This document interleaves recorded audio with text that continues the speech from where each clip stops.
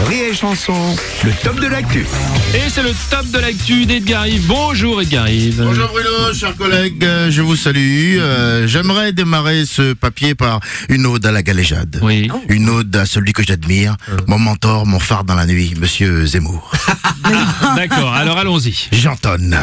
Le petit Eric, Eric pique les noirs et les arabes du soir jusqu'au matin.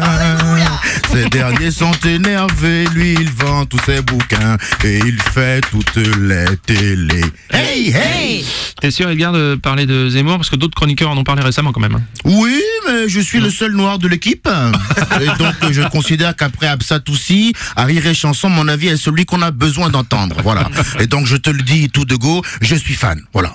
Moi, les, colla- ouais, ouais, moi, les Ah bon collègues humoristes à ce niveau d'hilarité, je respecte parce que c'est pas simple de faire des bonnes blagues quand même, tu vois. Donc, big up, big up. Ah pour le coup, je pense pas qu'Absatoussi voudrait entendre ça quand même. hein. Oui, mais elle, elle passe à la télé. Moi, Oui. je suis peut-être noir comme elle, mais je suis encore sur infogouv.fr à chercher un essencier digne de ce nom pour les infos. Donc, chacun sa merde, Oui, Bruno. Mais Eric Zemmour n'est pas humoriste Edgar, je te signale. Tu sais, Bruno, à partir du moment où moi je rigole beaucoup quand quelqu'un parle très sérieusement, c'est que c'est un humoriste. Voilà.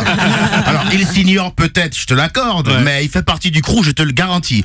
Il y en a qui disent, ouais, Blanche Gardin, elle est trop forte, elle est vachement hein. Eh ben, ils ont pas écouté Eric, hein. Désolé. Son dernier spectacle, qu'il a fait chez Ardisson, ou alors que Absatoussi lui dit en mode de Rémi Fassol, ah ouais, comment je devrais m'appeler, comment je devrais m'appeler? Il lui répond avec une légèreté supérieure à la plume. Corinne, ça vous irait très bien. Non, là, les gars, franchement, j'ai réévalué ma conception de la punchline. Je vous le dis. C'est simple, on a eu Coluche, maintenant on a. Ouais, c'est- Erico. Alors, après une telle analogie, euh, certains diront à quand le camion À quand le camion Moi, je dirais attention, attention, ça devient violent. Ouais. Et je crois que tu seras d'accord avec moi, mon cher Stéphane. Euh, non, bah, c'est Bruno.